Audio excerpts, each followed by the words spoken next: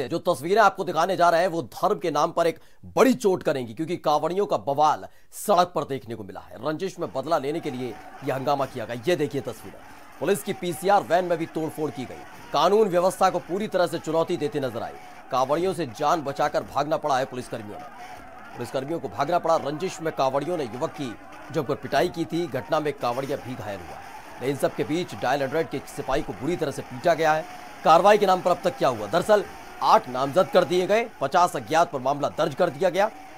ये तस्वीरें बताने के लिए काफ़ी हैं कि आस्था के नाम पर हो क्या रहा है। ये देखिए, पुलिस वाले को मार रहे हैं। गाड़ी में तोड़फोड़।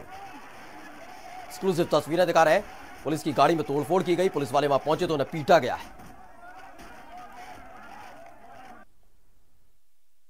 नहीं, देखिए, अगर आप तुलनात्मक तौर पर देखेंगे तो मुझे लगता है कि प्रदेश में पहली घटना ये रिपोर्ट हुई है, जो आप बुलंदशहर की घटना का ज़िक्र कर रहे हैं।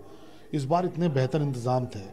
माननीय मुख्यमंत्री जी ने खुद ही मॉनिटर किया है और इस तरह का इंतज़ाम किया है कि ना तो कांवड़ियों को दिक्कत हो और ना जो रोज चलने वाले जो यात्री हैं, लोग हैं, उनको दिक्कत किसी तरह की हो। एक घटना हुई है, उसको फ़ौरन काबू में किया गया, पुलिस के अधिकारी मौके पर पहुँचे, सामंजस्य स्थापित करके वहाँ कानून व्यवस्था सुदृढ़ कराई गई। देखिए, वो जो झगड़ा है, उसका कांवड़ से कोई लेना देना नहीं है।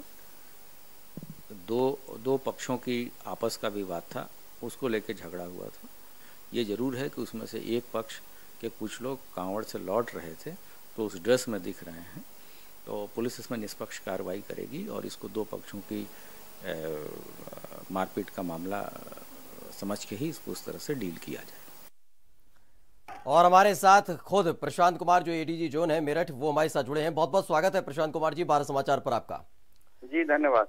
एडीजी साहब ये जानना चाहेंगे भी हमने आपको सुना भी आपका कहना है कि कांवड़ से इसका कोई लेना देना नहीं है। कांवड़ से लेना देना कैसे नहीं क्योंकि तमाम वो कांवड़िया ही हैं जो तोड़फोड़ कर रहे हैं पुलिसकर्मियों से मारपीट कर रहे हैं खदेड़ रहे हैं पुलिसकर्मियों को। नहीं नहीं देखिए ये जो एक पक्ष जिसके महिलाओं के साथ दूसरे पक्ष ने छेड़खानी की है जी। वो लोग कांवड़ से लौटे हैं उसी समय विवाद हुआ है और लोग आइडेंटिफाइड हैं जिन्होंने ये घटना की है। और तीन सौ चौवन का मुकदमा इसमें लिखा हुआ है महिला से छेड़छाड़ का। जी। हाँ। अब ये बाई चांस है कि वहाँ पर कांवड़ का रूट है और वो घर वाले भी कांवड़ से लौट के आए इसको इसका रूप दिया जा रहा है। और इसमें जो लोग भी पुलिस के साथ या तोड़फोड़ किए हैं आइडेंटिफाइड हैं और हम लोग उस पर कड़ी कार्रवाई करेंगे। इसका जनरल जो कावड़ियों के को इन जनरल गलत न माना जाए क्योंकि इतने करीब पौने चार करोड़ लोग अब तक क्रॉस कर चुके हैं लेकिन एडीजी साहब सवाल ये उठता है कि लगातार कहा गया कि कानून व्यवस्था चुस्त दुरुस्त रहेगी कांवड़ यात्रा के दौरान लेकिन पुलिस वालों को मारा जा रहा है पीटा जा रहा है ये कैसी कानून व्यवस्था? नहीं नहीं देखिए इतने मैंने आपको बताया सवा चार करीब पौने चार करोड़ लोग क्रॉस कर गए हैं कहीं कोई वारदात नहीं हुई है और ये घटना हुई है जो कि महिला से छेड़छाड़ का है। और पुलिस उसमें आप देखिए फिर भी पुलिस का रिस्पांस टाइम इतना है कि तुरंत पुलिस पहुँच गई है और उस पर कार्रवाई की जा रही है। नहीं लेकिन बेबस भी नज़र आए। वो पुलिस वाले जो रोकने की कोशिश कर रहे थे बेबस नज़र आए थे वो। वो खुद को बचा रहे हैं भाग देखा रहे होगा मैं मैंने भी वीडियो देखा है उसमें लोग बचा भी रहे हैं कि कोई पुलिस के साथ छेड़खानी न करे। ये ऐसे भी लोग आए हैं जो उसको रोक रहे हैं जो। सिविलियन ही है जी हाँ, हाँ। जी।